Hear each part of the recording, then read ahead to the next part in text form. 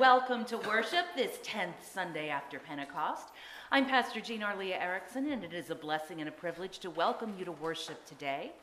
If you're new or visiting for the first time, we'd like to especially welcome you. Please let myself or one of the worship leaders or one of the ushers know if there's anything we can do to support you while you're here. Um, I have a couple of quick announcements. First of all, um, a thank you to everyone who participated in the cleanup day. You are welcome to stand if you want to be recognized. There was a lot of great work that was done. And you'll notice that the air smells just ever so slightly sweet of cleaning fluid in the nursery and all these different places. So it is wonderful. It is clean and it is ready for VBS. We are very excited.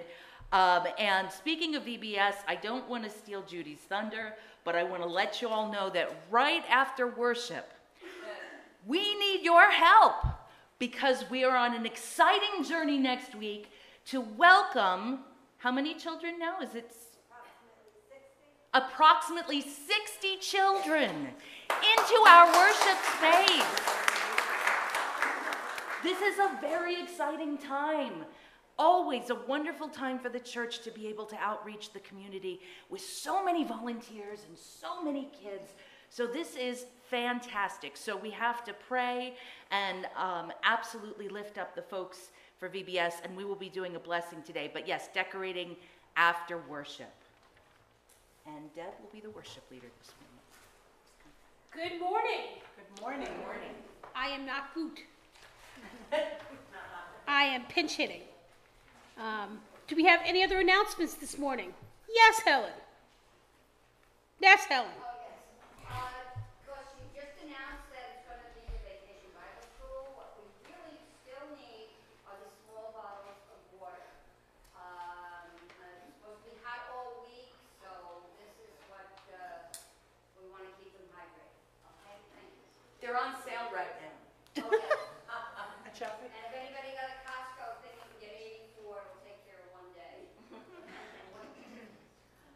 Hi, Neil.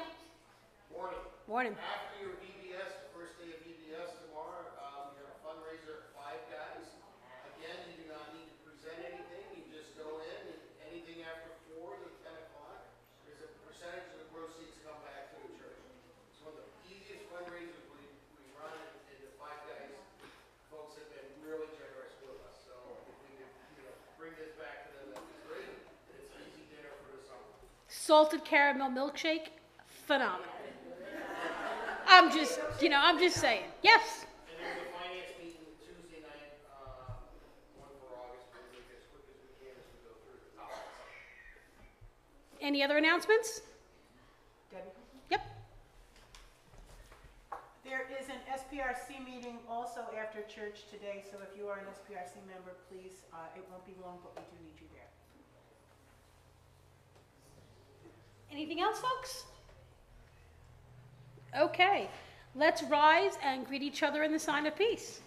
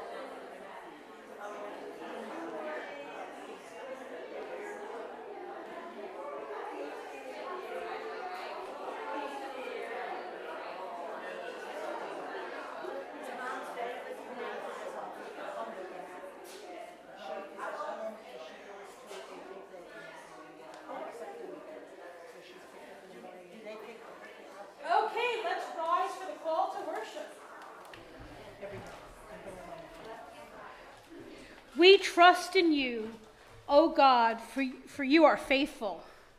Show us your ways and teach us your paths. We wait for you. Lead us in your paths of truth. You are faithful, O God. Your love is steadfast. We lift up our souls to you and praise you always. Our opening prayer. Dear Lord, help us to bring light into all the darkness of life, spreading hope for a better world. Help us to bring salt into the blandness of life, encouraging vitality and joy in living in a world that dares to hope. Hope for the future that you promise. In your Son's holy name we pray. Amen. Amen. Our opening hymn is A Mighty Fortress is Our God. It can be found in the red hymnal, number 110, verses 1, 2, and 4. Bye.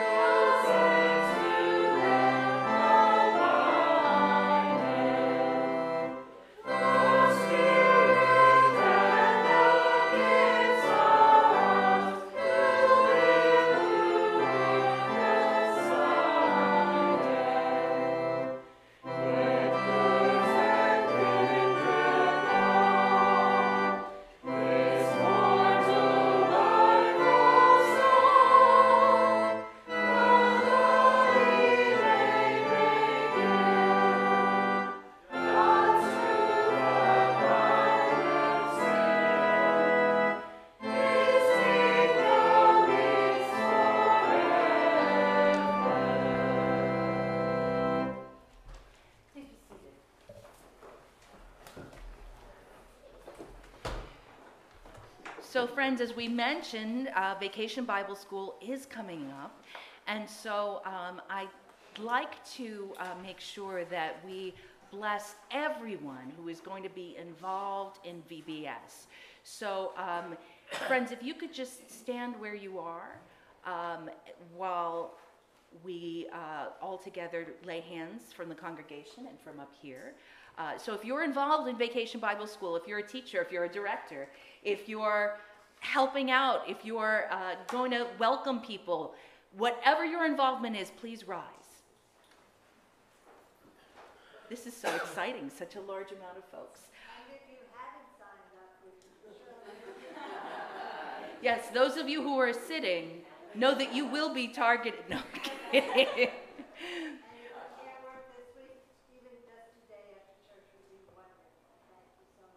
Thank you very much. We really appreciate everyone's support and everyone who, who gave water and different things. We so appreciate and the prayers. Friends, let's raise up a prayer and blessing. Loving God, you have entrusted us with the message of your power, grace, justice, and love. We ask for your guidance that we may be teachers and learners together. Believing that you are in our midst, we set apart those who would serve in our vacation Bible school. May they serve you in nurturing the spiritual growth of all who are entrusted in their care. Bless each one gathered here, enabling them to be channels of your grace. We pray all these things through Christ Jesus our Lord. Amen. Amen. Amen. Please be seated. And I really do want to mention there is so much work that goes into VBS, not only the week of, but all the prep. And I, I want to raise up uh, Judy DeToma, uh, Lindsay, and Alice. Everyone put in so much prep, and, and all, also all of the teachers and all of the leaders. And Camille, um, absolutely, Camille's been uh, essential helping us do all of the. Um, uh, the spreadsheets and the all the different things that go into it. So, so many um, so many folks have put in a lot of hours. So uh, we celebrate this really exciting ministry that we do every year. So, in lieu of children's time this morning, um, we know that the youth uh, just came back from their mission trip. And today, we're going to welcome them up to give a little bit of an update on what happened, although they will probably do a longer presentation during Children's Sabbath. But uh, they had an amazing time, and they're going to tell you about it. Come on, youth. Welcome, Alice.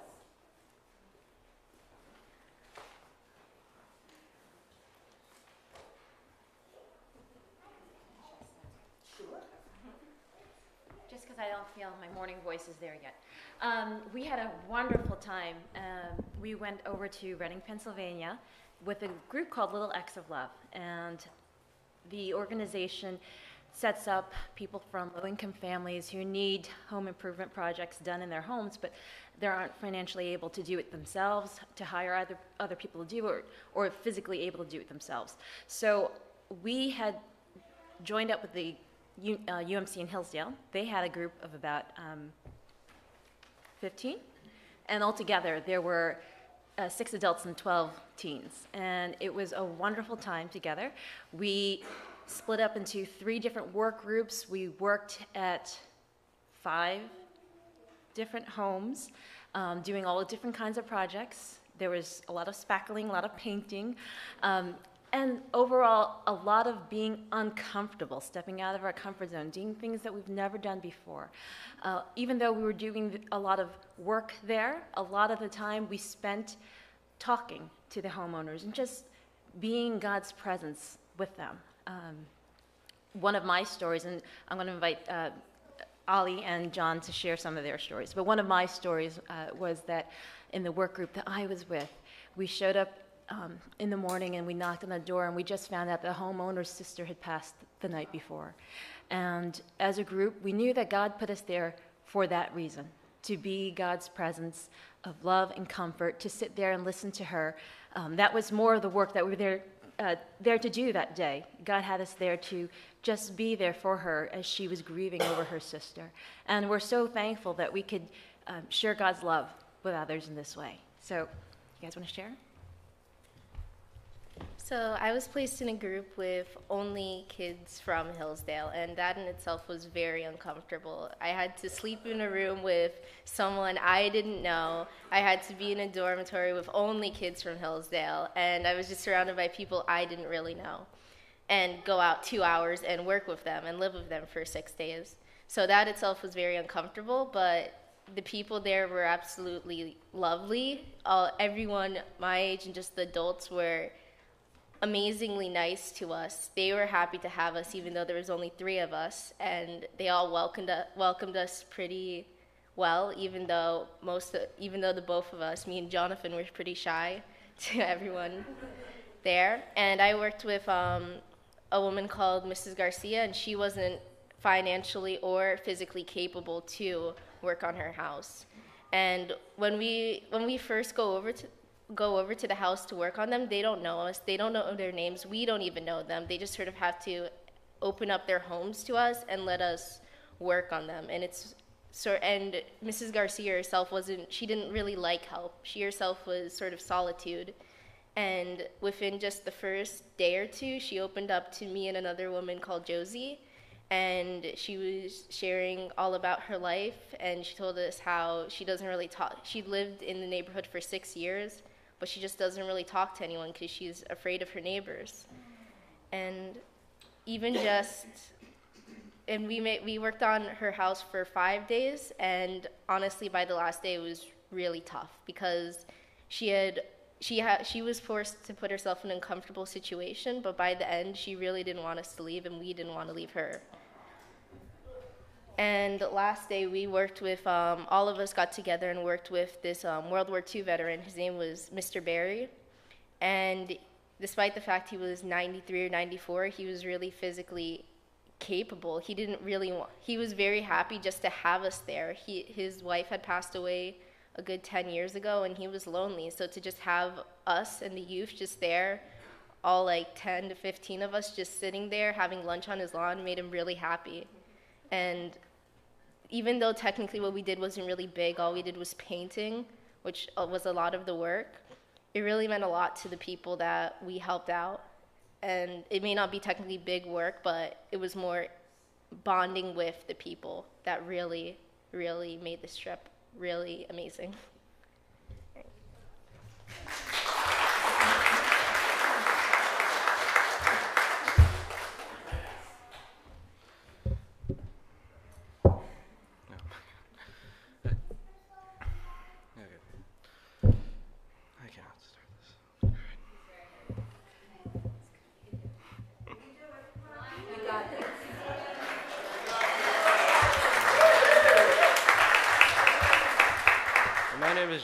I was put in an entire group of girls, which was also uncomfortable. and so the first lady who we helped, um, her name was Lucy. She was um, living by herself with a caretaker that lived um, good few blocks away, and a cat that roams around the neighborhood that was extremely fat. so when we went to her house, we um, she, she oh my god. It We went to her house. We helped her paint her um, rail, which was a test because it had a lot of curls in the thing because it's like one of those fancy rails, so we had to like in the thing. Oh yeah. Um, so after we helped her with that, um,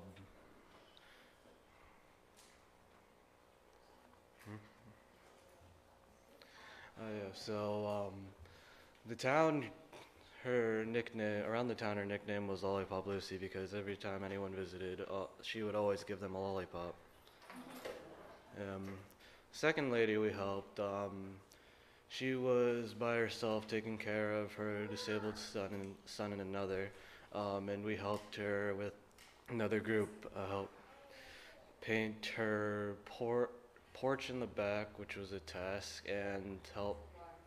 Yes, it was a large porch, and we also helped paint the ramp in front. Oh.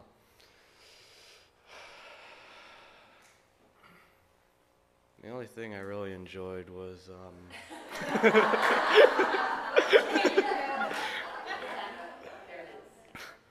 um, I didn't get put in too much uncomfortable stances because although uh, since me and Ollie were the only two um, from UMC, um, I got a room to myself which was nice. But yeah, I feel like I got to bond with the kids over in the uh, UMC Hillsdale a lot, and yeah. I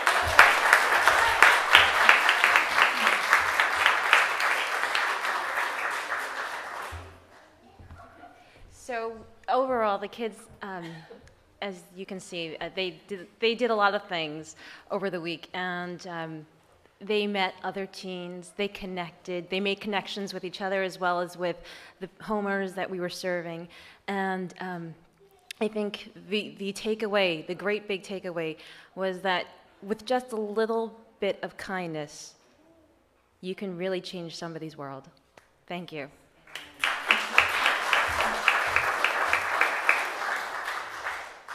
We are so proud of our youth and our youth leader. So proud.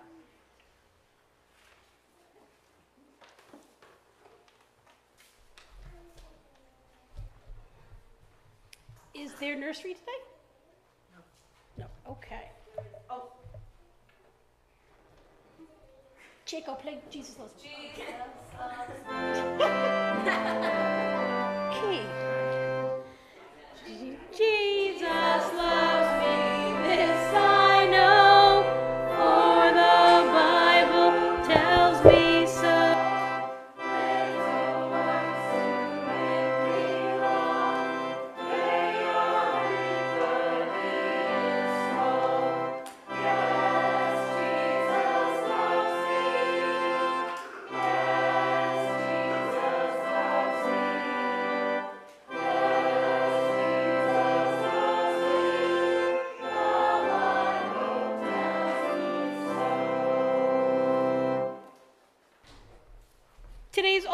Testament reading comes from Jeremiah 23 23 through 29. I am a God nearby, says the Lord, and not a God far off. Who can hide in secret places so that I cannot see them, says the Lord? Do I not fill heaven, do I not fill heaven and earth, says the Lord? I have heard what the prophets have said, who prophesy lies in my name, saying, I have dreamed, I have dreamed. How long? Will the hearts of the prophets ever turn back those who prophesy lies and who prophesy the deceit of their own heart? They plan to make my people forget my name by their dreams that they tell one another, just as their ancestors forgot my name for Baal. Let the prophet, sorry, let the prophet who has a dream tell the dream, but let the one who has my word speak word faithfully. What has straw in common with wheat, says the Lord? It is not my word like fire, says the Lord, and like the hammer that breaks a rock in pieces. And our New Testament reading comes from Hebrews 11 29 and 12 2. By faith, the people passed through the Red Sea as if it were a dry land. But when the Egyptians attempted to do so, they were drowned. Looking to Jesus and the pioneer of the perfecter of faith, who, for the sake of the joy that was set before him, has endured the cross, disregarding its shame, and has taken his seat at the right hand of the throne of God.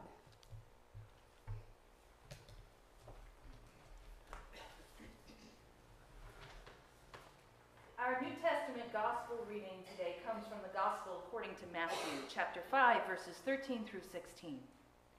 You are the salt of the earth, but if salt has lost its taste, how can its saltiness be restored? It is no longer good for anything, but it is thrown out and trampled underfoot. You are the light of the world. A city built on a hill cannot be hid. No one, after lighting a lamp, puts it under a bushel basket, but on the lampstand and it gives light to all in the house.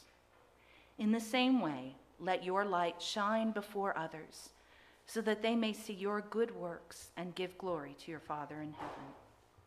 God's word for us today. Thanks be to God. So I feel like recently watching TV, the stations have been inundated with these uh, shows about chefs and chefs competing with one another and cooking and all these different things. And it got me thinking, you know, it's interesting when you see like an episode of Chopped and they give you these ingredients and you have to make something out of these ingredients. Um, what particular spices the chefs choose to use is always interesting. So let me ask the chefs in the congregation, just call out, what are some of your favorite spices to cook with? Garlic. Garlic, basil, oregano, sage, nutmeg, Rosemary. rosemary,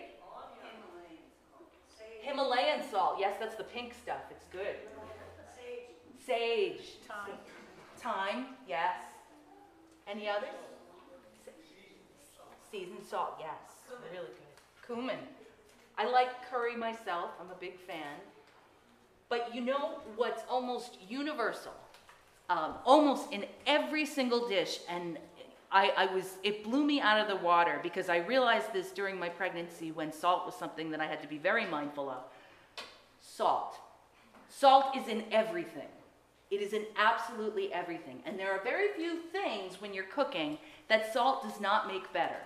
Now, granted, we're not talking about an overabundance of salt, but salt certainly brings out the flavor in food. So, of all these wonderful spices, this one particular, I guess I'll call it a spice, but seasoning, uh, is absolutely almost essential to cooking. So, sodium chloride, it's quite amazing. The very same salt in our kitchens throughout time has wielded the power to transform economies, to make or break dynasties, and it also made sure that our ancestors were able to survive. So, salt is actually pivotal in the history of the world. In his book, Salt, A World History, Arthur Mark Kurlansky explores how this substance has been absolutely essential for the world. The word salary actually comes from the Latin word for salt because the Roman legions were sometimes paid in salt. It was such a highly sought after commodity. And while people have been used have used canning and artificial refrigeration to preserve food for probably the last hundred years or so, salt has been the best known food preservative, especially for meat, for thousands of years. There is more salt in animal tissues such as meat, blood, and milk than there are plant in plant tissues. And with the spread of civilization, salt became one of the world's main trading commodities. Now, you know, as human beings, we need a certain amount of salt in our bodies to make sure that our body chemistry is in order. If you drink too much water, your cells won't be able to function properly. It was of high value to the ancient Hebrews, the Greeks, the Romans, the Byzantines, the Hittites, and other peoples of antiquity. In the Middle East, salt was used to ceremonially seal an agreement, and the ancient Hebrews made a covenant of salt with God and sprinkled salt on their offerings to show their trust in God. And for those of you who are military history fans, an ancient practice in time of war was salting the earth, actually scattering salt around in a defeated city in order to prevent plant growth. Wars have been fought over salt. Venice fought and won a war with Genoa over the product, and it played an important part in the American Revolution. In 1930, Mahatma Gandhi led at least 100,000 people on the Dandi March, or the Salt Satyagraha, in which protesters made their own salt from the sea and defied British rule to avoid paying the salt tax.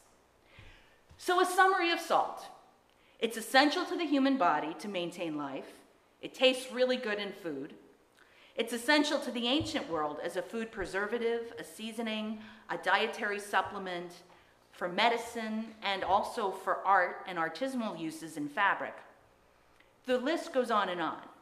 And it was also used by God's people, especially in the Old Testament, for a variety of ritual purposes, for salting sacrifices and salting the earth. So it was an important commodity. In today's scripture, Jesus tells his followers that they are salt of the earth. So essentially, Jesus affirmed the value and the importance of his disciples. The saltiness that defined who these disciples were had the power to spread or not spread the word of God. Their gifts and talents, their properties, who they were, all these pieces were essential in order to ensure survival of the gospel and the spreading of God's word. Now, in the same scripture, Jesus also calls these same disciples light of the world. Light of the world. So, in order to fully appreciate how Jesus was referring to us, we first have to talk about and fully appreciate what light is and what it is not. Today, our days are so lit up by the lights on the streets and TV and computer screens and phone screens. Lights are everywhere. And everything is lit up so much that I think sometimes we start to take light for granted. But the people who lived many, many years ago, not having the commodity of modern day electricity, lived ultimately in darkness and by the light of day during the day. They knew well how to appreciate light and what it meant just as much as they knew how blind the darkness made them and how it can paralyze function. To those people, darkness was almost like the plague. They knew well that darkness is life under the shadow of death. For Christians, the answer to what light is is not so much a what, but a who. Jesus is our light. He is the light of the world. We must be clear that we are not the source of God's light, but we reflect God's light, just like the moon reflects the sun's. And as such, we are God's light in the world. I think it's really important to remember, as we're talking about these issues of light and dark, um, many of you lived through and watched Hurricane Sandy, and I know uh, folks were affected up here. We had about two, two and a half weeks with no electricity, and it was a whole different relationship with light, with dark, with cooking, with everything. Um, but it truly, when you go outside and you see even the most recent big blackout in New York, and huge chunks of that, those streets were dark, were dark. It's unnerving to us. We're so used to being able to flip a switch. So I think that's a really important piece that Jesus was talking from. There was no electricity as he's saying this. So if you're light to the world, it's metaphorically, but realistically, people are seeing the light that God has given you. And he's using this perfect analogy to say that you basically light up a room as Christians. That's what our role is, is to bring light to the darkness, just like a candle would bring light in the midst of a dark room. So, Jesus helps us see our way to God, and he shows us how to walk along that way in the world. We as believers are to reflect or to witness God's light in the world, and thus magnifying God's light. And without light, we are literally in the dark. Contemporary writer and theologian Anne Lamott wrote a very interesting book called Learning to Walk in the Dark. It's a great book. It was an exploration of light and the lack of it, and how much it truly touches our lives. Very important piece uh, to take away. One of the experiments she does is she goes to this, they have an experience in, um, I believe it's Georgia, and it's for folks who have sight to um, experience what it would be like to be absolutely blind. And uh, they take they blindfold you, and you get a guide who is blind, and they take you through different rooms and under uh, different obstacles and different things, and it lasts maybe about a couple of hours. And afterwards, people have incredible experiences, not only with the experience of being in the dark, but being able to call upon their other senses and summoning them and how they take over and what that looks like. So it was a very interesting, it's a great book, and it, it talks about this duality of light and dark and um, the importance of light in the world in which we live. So, very important. Without electricity, we struggle. Salt and light are two spiritual building blocks for Christianity. Without either one of these substances, salt or light, we really could not survive. Have you ever eaten unsalted pretzels or potato chips? Yeah. Yeah. Usually you're not a repeat buyer. Um, this was, I don't recommend. Uh, but we tried to find all kinds of different things to, to do with stuff during my pregnancy. I had this whole bag of unsalted pretzels, it's still there. you can try salt substitutes like Mrs. Dash, but truthfully, nothing really takes the place of salt. You either have it or you don't. Many believers blend into the world and sometimes pull back on actually showing their salt. But if we lose our distinctive saltiness, we can't really reflect God's love in the way that we would like.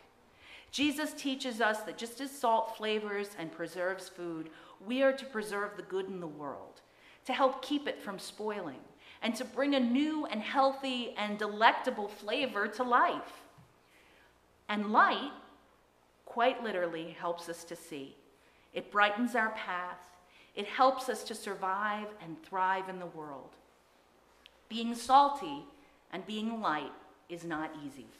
Often it requires planning, willing sacrifice, and commitment commitment to Christ, commitment to our faith journeys. But we must know when we lose the desire to be salt and light and share that with the earth, we aren't able to fulfill God's plan. So, really important message, and I preached a little bit about this. This passage came up from the Gospel of John, I want to say uh, a few months ago. But we need to remember what are some of the things that keep us salty? What are the things that keep us filled with light?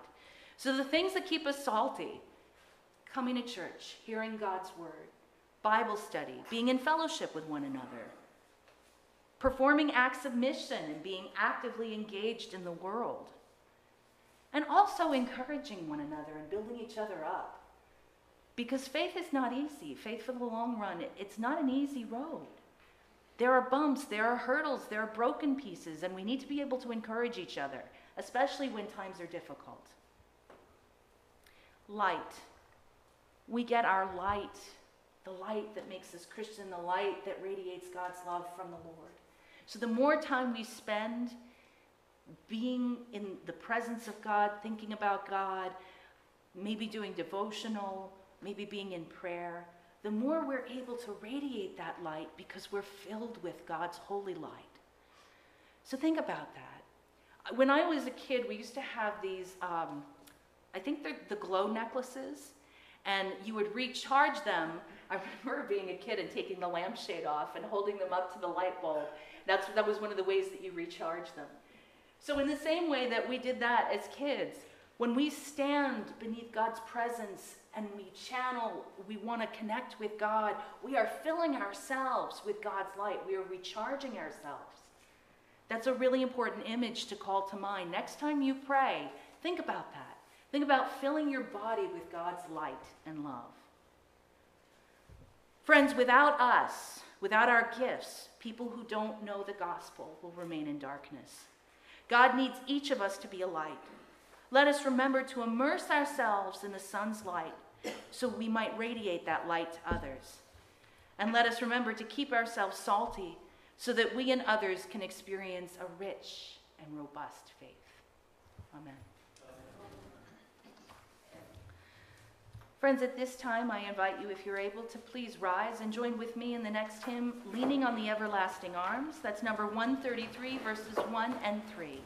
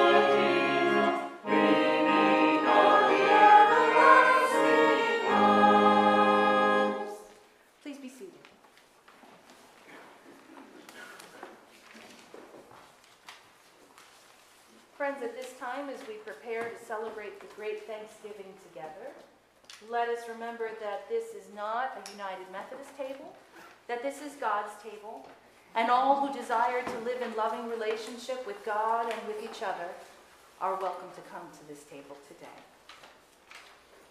Friends, let us celebrate the great Thanksgiving together. The Lord be with you. And also with you. Lift up your hearts. We lift up to the Lord. Let us give thanks to the Lord our God. It is right to give our thanks and praise. It is right and a good and joyful thing always and everywhere to give thanks to you, Almighty God, creator of heaven and earth. Age after age, you have revealed yourself to your people and blessed them with gifts beyond number. They planted and watered, but you gave the growth. And so, with your people on earth and all the company of heaven, we praise your name and join their ending hymn, saying together, Holy, holy, holy Lord, God of power and might. Heaven and earth are full of your glory. Hosanna in the highest. Blessed is he who comes in the name of the Lord. Hosanna in the highest. Holy are you, and blessed is your Son, Jesus Christ. By the baptism of his suffering, death, and resurrection, you gave birth to your church, delivered us from slavery to sin and death, and made with us a new covenant by water and the Spirit. On the night in which he gave himself up for us, he took bread, gave thanks to you, broke the bread, gave it to his disciples, and said, Take, eat. This is my body, which is given for you. Do this in remembrance of me. When supper was over, he took the cup, gave thanks to you, gave it to his disciples, and said, Drink from this, all of you. This is my blood of the new covenant, poured out for you and for many for the forgiveness of sins. Do this as often as you drink it in remembrance of me. And so, in remembrance of these your mighty acts in Jesus Christ, we offer ourselves in praise and thanksgiving as a holy and living sacrifice in union with Christ's offering for us as we proclaim the mystery of faith. Christ has died, Christ is risen, Christ will come again. Pour out your Holy Spirit on us gathered here and on these gifts of bread and fruit of the vine. Make them be for us the body and blood of Christ, that we may be for the world the body of Christ, redeemed by his blood. By your Spirit, make us one with Christ, one with each other, and one in ministry to all the world, until Christ comes in final victory and we feast at his heavenly banquet. Through your Son, Jesus Christ, with the Holy Spirit in your holy church, all honor and glory is yours, Almighty God, now and forever. Amen. Amen. And now, with the confidence of the children of God, let us join our voices together in singing the Lord's Prayer.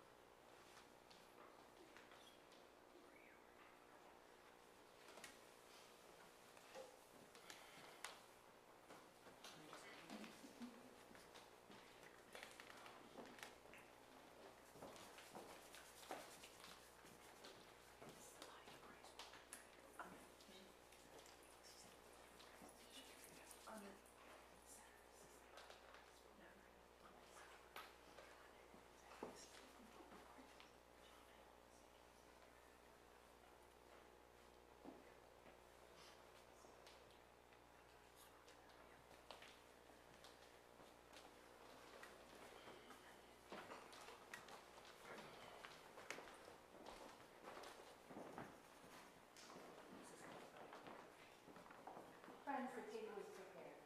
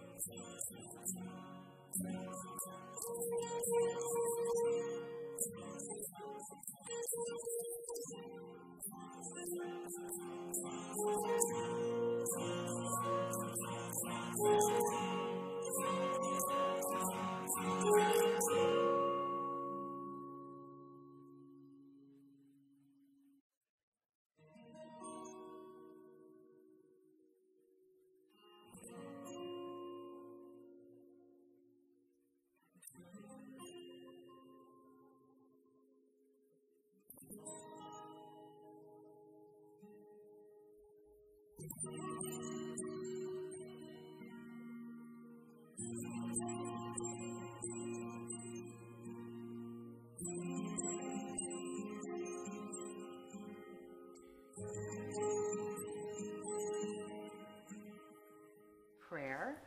I received several prayer requests, which I will share with you.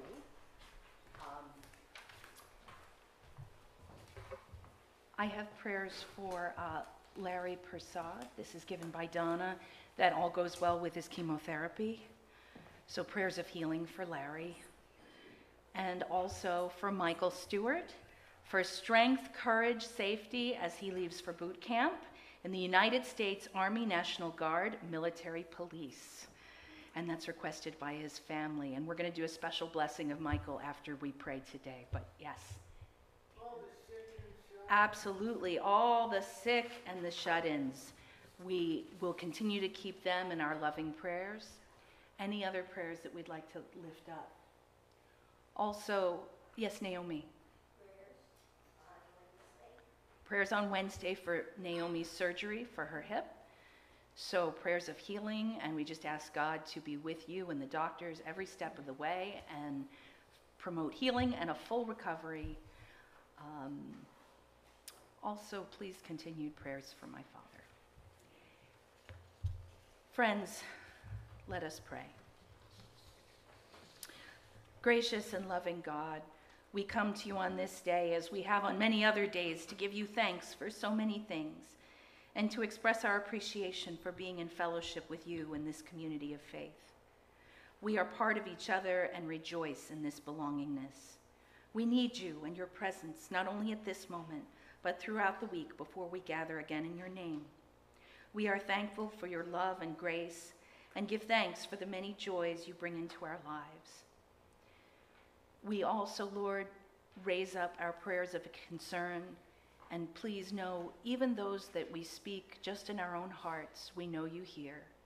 But among those prayers of concern, we lift up Larry, and we lift up Michael, and we lift up Naomi, our church and its ministries, our active military veterans and their families, our first responders, the homeless and those who lost their jobs, our sick and our shut ins, our homebound members, including Charlotte. Continued prayers for Myrna Richards and her family on the passing of her son in law. Prayers for the family of Gwen Morrison. Prayers for Peggy, for Carlene, for Naomi, for Johnny Johnson, for Kristen and McKee, for Joan, Michael, Amy, Doris, Jim, Adeline, Lisa, Joanne, Jack, Rose, Ed, Michael, Jim, Marilee, Tom, Alice, Teresa, Margaret, Alan, Roger, Winnie, Ginny and her family, Tony, Kathy, Jerry, Cheryl, and Joan. Lord, we lift up all these prayers to you, knowing that you hear every single one.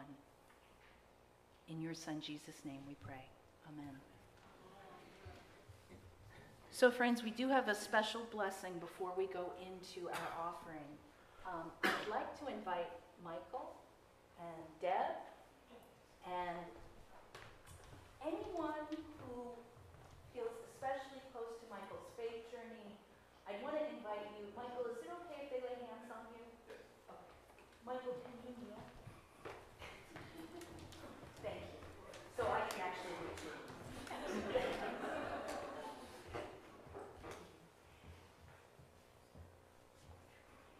So friends, we are very, very excited for Michael, but we know that this is a big responsibility. So friends, please raise your hands in blessing and pray with me. Michael, you have enlisted in service to serve and defend our nation and our liberty. This body of Christ thanks you with heartfelt gratitude for your willingness to serve at this time. United with you in faith and citizenship, we wish to enfold you in our love and surround you with prayer, blessing, and the assurance of God's presence as you go forth from this place to fulfill your call. Let us pray. Lord of the nations and King of the universe, we give you thanks for all those who answer the call at this time to serve our nation and to defend and protect our way of life, especially for Michael. What lies ahead is in large measure unknown to us and unknown to those who serve. Be present with and guide all of our military personnel, especially Michael. Sharpen his skills, make his judgments true. Give him those things necessary to achieve his goals and defend our cause. Guard and protect Michael from evil and all the ways of darkness that threaten us. Send your holy angels to have charge over him and bear him up. Bring to us all the victory of light over darkness as you are the God of light and love. Servant of our nation, go forth on our behalf. Do your duty with honor. Defend us against the darkness. Know that no task is too small for the cause. Know also that our love and support goes with you. Go forth with blessings in abundance from the Almighty God, the Father, Son, and the Holy Spirit, and may God's peace be with you always. Amen.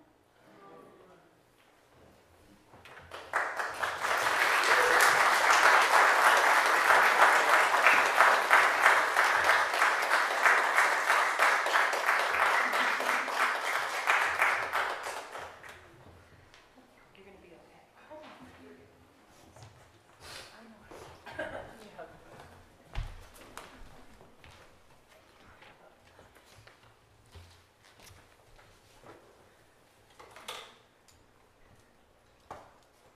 I wanted to give you a minute. Are you good for the offertory? Friends, at this time, we have the opportunity to lift up our lives, our tithes, our gifts, and our offerings, and our ushers will wait upon you.